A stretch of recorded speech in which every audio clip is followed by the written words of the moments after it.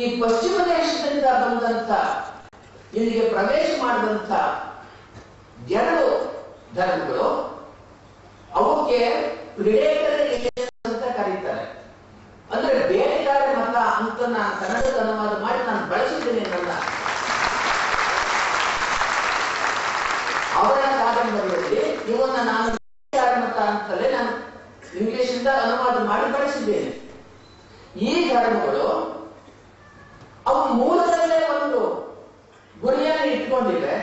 ಸಾಧ್ಯವಾದಷ್ಟು ಜನಗಳನ್ನ ನಾವು ಕನ್ವರ್ಟ್ ಮಾಡಬೇಕು. ಆ ಕನ್ವರ್ಟ್ ಮಾಡಬೇಕಾದ್ರೆ ಯಾವ್ದಾದ್ರು ಮಾರ್ಗ. ಸರಿ. ಹಿಂಸೆಯನ್ನ, ಇಸ್ಲಾಂ ಅಂತೂ ಹಿಂಸೆಯನ್ನ ಉದ್ದಕ್ಕೂ ಬಳಸ್ಕೊಂಡು ಬಂದಿದೆ. ಕ್ರೈಸ್ತ ಚರ್ಚು ಕೂಡ ಹಿಂಸೆಯನ್ನು ಬಳಸ್ಕೊಂಡು ಬಂದಿದೆ. ಆದ್ರೆ ಕ್ರೈಸ್ತರ ಚರ್ಚು ತುಂಬಾ ಜಾಣತನ ಇದೆ ಅವರಿಗೆ ಅವರಿಗೆ ಜಾಣತನ ಬರೋದಕ್ಕೆ ಒಂದು ಕಾರಣ ಏನಂತ ಅಂದ್ರೆ ಪಶ್ಚಿಮ ದೇಶದಲ್ಲಿ ರೆವಲ್ಯೂಷನ್ ಆಗಿ ಸೈಂಟಿಫಿಕ್ ರೆವಲ್ಯೂಷನ್ ಆಗಿ ಪ್ರೊಟೆಸ್ಟೆಂಟಿಸಮ್ ಬಂದು ಪ್ರೊಟೆಸ್ಟೆಂಟಿಸಮ್ ಅಂತಂದ್ರೆ to protest against the supremacy of the pope ಅದಕ್ಕೆ ಆ ಪ್ರೊಟೆಸ್ಟ್ ಪ್ರೊಟೆಸ್ಟ್ಯಾಂಟಿಸಮ್ ಅಂತ ಅಂದ್ರು ಅದು ಪಶ್ಚಿಮ ಯುರೋಪ್ನೊಳಗೆ ಬಂದು, ಅವಾಗ ಚರ್ಚಿಗೆ ನಾನು ಬದುಕಬೇಕಾದ್ರೆ ಬೇರೆ ದಾರಿ ಇದೆ ಅಡ್ಜಸ್ಟ್ಮೆಂಟ್ ಮಾಡಿಕೊಂಡ್ರು ಏನಂತ ಅಂದ್ರೆ ನಮ್ಮ ಚರ್ಚ್ ಘೋಷಿಸುವ ಬಗ್ಗೆ ಅಂತ ಸೇವೆ ಸೋಲು ನಾವು ಅನುಭವಿಸಿಕೊಂಡು ಇಸ್ಲಾಂ ಆ ಮಟ್ಟಿಗೆ ಆಧುನಿಕ ಆಧುನಿಕವಾಗಿಲ್ಲ ಆ ಹಳೆ ಹಿಂಸಾ ಮಾರ್ಗವನ್ನೇ ಅವರು ಇಟ್ಕೊಂಡು ಬಂದಿದ್ದಾರೆ. ಇಲ್ಲಿ ಮುಖ್ಯವಾದ ವಿಷಯದ ಬಗ್ಗೆ ನಾವು ಅರ್ಥ ಮಾಡ್ಕೊಳ್ಳೋದು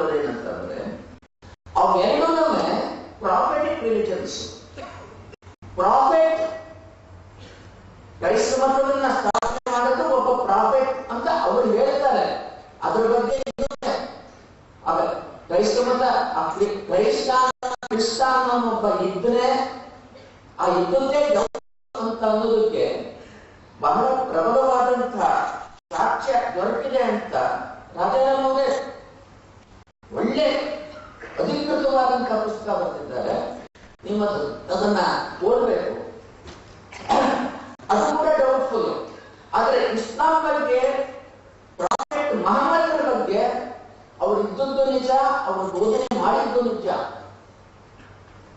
ಅಲ್ಲಿ ಒಂದು ಏನಂತ ಅಂದ್ರೆ, ಈ ಧರ್ಮ ಧರ್ಮ ಸ್ಥಾಪಕ ಒಬ್ಬ ಇದ್ದಾನೆ. ಸತ್ಯ ಧರ್ಮ ಸ್ಥಾಪಕ ಏನು ಹೇಳಿದ್ರೋ ಅದೇ ಸತ್ಯ. ನೀವು ಅದನ್ನ ನಂಬಲೇಬೇಕು.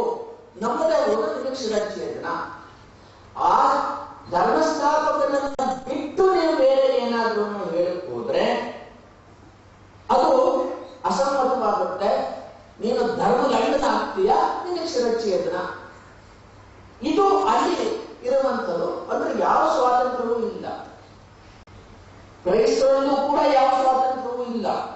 ನಿಜವಾದ ಕ್ರೈಸ್ತ ಕ್ರೈಸ್ತ ಧರ್ಮದಲ್ಲಿ ಸ್ವಾತಂತ್ರ್ಯ ಇಲ್ಲ.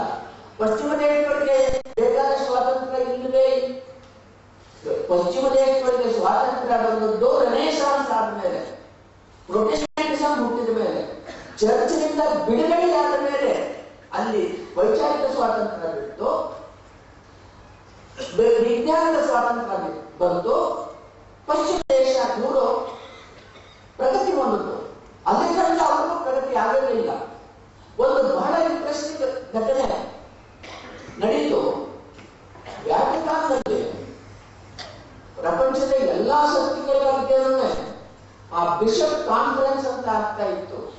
ಅವರು ಚರ್ಚೆ ಮಾಡ್ತಾ ಇದ್ರು. ಒಂದ್ಸರಿ ಏನೋ ಒಂದು ಪ್ರಶ್ನೆ ಬಂತು. ಕುದುರೆ ಎಷ್ಟು ಹಲ್ಲುಗಳಿರ್ತವೆ ಅಂತ. ಬಿಷಪ್ ಕಾನ್ಫರೆನ್ಸ್ ಬಂತು ಅದಕ್ಕೆ ಒಬ್ಬ ಬಿಷಪ್ ಹೇಳಿದ ನಾನು ಅರಿಸ್ಟಾಟಲನ್ನ ಎಲ್ಲದನ್ನು ಅಷ್ಟೊಂದೇ ಅರಿಸ್ಟಾಟಲನ್ನ ನಾವು ಸಂಪೂರ್ಣ ಒಪ್ಕೊಂಡ್ಬಿಟ್ಟಿದ್ರು ಚರ್ಚ್ಗಳು ನಾನು ಅರಿಸ್ಟಾಟಲನ ಎಲ್ಲಾ ಗ್ರಂಥಗಳನ್ನು ಓದಿದ್ದೇನೆ, ಆದ್ರೆ ಎಲ್ಲಿಯೂ ಅರಿಸ್ಟಾಟಲ್ ಕುದುರೆ ಇಷ್ಟ ಅನ್ನೋದನ್ನು ಬರಲಿಲ್ಲ. ಆದ್ದರಿಂದ ಕುದುರೆಗಳಿಗೆ ಬರಲಿಲ್ಲ. ನಾನು ಇನ್ನೊಬ್ರು ಹೇಳಿದ್ರು, ಇಲ್ಲ ನಾವು ಒಂದು ಕಮಿಟಿಯನ್ನು ಅಪಾಯಿಂಟ್ ಮಾಡೋಣ. ಆ ಕಮಿಟಿ ಇದನ್ನೆಲ್ಲ ಓದಿ ತೀರ್ಮಾನ ಅಂತ. ಕಮಿಟಿ ಅಪಾಯಿಂಟ್ ಮಾಡಿದ್ರು ನೆಕ್ಸ್ಟ್ ಮೀಟಿಂಗ್ ಆದಾಗ ಅವರು ಸಾಹಿತ್ಯ ಎಲ್ಲಾನು ಓದ್ಬಿಟ್ಟು ಅರಿಸ್ಟಾಟಲ್ನಂತೂ ಸಂಪೂರ್ಣ ಓದಿದ್ದೀನಿ. ಆದ್ರಿಂದ ಅವರ ಹೇಳಿದ್ರೆ ಸರಿ, ಕುದುರೆ ಹೊರಲಿಲ್ಲ ಅಂತ ತೀರ್ಮಾನ. ಸರಿ ಹಾಗೆ ಆಯಿತು. ಒಬ್ಬೊಬ್ಬರಿಗೂ ಒಂದೊಂದು ಕುದುರೆ ಗಾಡಿ ಇತ್ತು. ಒಬ್ಬ ವಿಷಯಕ್ಕೆ ಹೋದ್ರು ಅವ್ರ ಕುದುರೆ ಗಾಡಿ ಕೂತ್ಕೊಂಡು ಡ್ರೈವರು ನಾವು ಹೇಗೆ ಕಾರಲ್ಲಿ ಕೂತ್ಕೊಂಡ್ರೆ ನಮ್ಮ ಡ್ರೈವರ್ ನಮ್ಮ ನಮ್ಮನ್ನು ನಡೆಸ್ತಾ ಆಗುತ್ತೆ ಆ ಡ್ರೈವರು ಕೇಳಿದ, ಏನೋ ಬಹಳ ಜೋರ ಚರ್ಚೆ ಆಗ್ತಿದ್ದಲ್ಲ ಏನು? ಅಂತ. ಅದಕ್ಕೆ ಇವ್ರು ಹೇಳಿದ್ರು ಅಂತ ಚರ್ಚೆ ಬಂತು. ನಾವು ಅದೆಲ್ಲಾನು ತೀರ್ಮಾನ ಮಾಡಿ ಕುದುರೆ ಬರಲಿಲ್ಲ ಅಂತ ತೀರ್ಮಾನ ಮಾಡಿದ್ವಿ. ಆ ಡ್ರೈವರ್ ಏನು? ಒಂದ್ ಕೆಲಸ ಮಾಡಬಹುದಾಗಿತ್ತಲ್ಲ ಇಲ್ಲಿ ಹೊರಗಡೆ ಇಷ್ಟೊಂದು ಕುದುರೆ ಗಾಡಿಗಳು, ಇಷ್ಟೊಂದು ಕುದುರೆಗಳು ಎಲ್ಲ ಇತ್ತಲ್ಲ? ಒಂದಾದ್ರೂ ಬಾಯಿ ಸ್ವಲ್ಪ ಬಿಡಿಸಿ ನೋಡಿ ಎಳಿಸ್ಬಿಟ್ಟಿದ್ರು ಗೊತ್ತಾಗ್ತಾ ಇರಲಿಲ್ಲ ಅಂತ. ಏ, ನಮ್ಮ ನಾವು ಕುದುರೆ ಬಾಯನ್ನು ಹೀಗೆ ಬಗ್ದು ನೋಡುದ? ನಮ್ ಗೌರವ ಏನಂತ ತಿಳ್ಕೋಬೇಕು? ನೀನ್ ತಪ್ಪಾಯ್ತು ಅಂತ ಇದ್ದವರು ಗೊತ್ತಾದ್ರೆ ಅವನು ಅವ್ನು ಬುದ್ಧಿ ಅಂತ. ಈ ಮಟ್ಟದ ಒಂದು ಬೌದ್ಧಿಕ ಸ್ವಾತಂತ್ರ್ಯ ಚರ್ಚ್ ಬೆಳೆಸ್ಕೊಂಡು ಬಂದಿತ್ತು. ಅನಂತರದಲ್ಲಿ ವಿಜ್ಞಾನದ ಬೆಳವಣಿಗೆಗೆ ಯಾವ ರೀತಿ ಚರ್ಚೆ ಅಡ್ಡ ಬಂತು? ಆ ಚರ್ಚ್ನಿಂದ ಬಿಡುಗಡೆ ಆಗ್ತಾನೆ ಪಶ್ಚಿಮ ದೇಶಗಳಲ್ಲಿ ವಿಜ್ಞಾನ ಬೆಳೀತಾ ಇರಲಿಲ್ಲ, ಅದೆಲ್ಲ ನಿಮಗೆ ಗೊತ್ತಿರುವಂತ